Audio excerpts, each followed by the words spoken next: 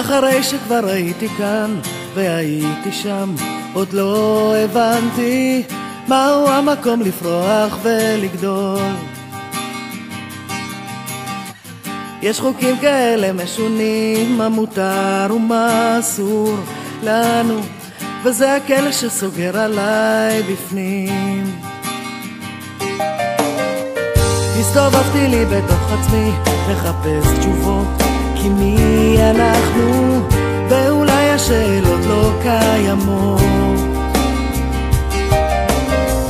כל חיי אני רק מחכה לאהבה, והיא עכשיו כבר כאן, אחרי כמעט מיליון שנה של בדידות. והגשם איתך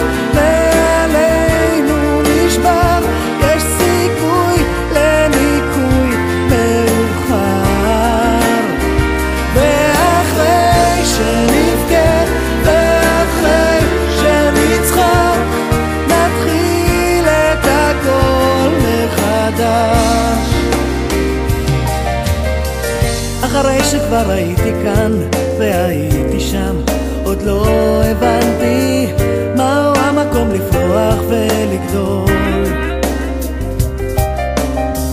כל חיי אני רק מחכה לאהבה, והיא עכשיו כבר כאן, אחרי כמעט מיליון שנה של בדידות,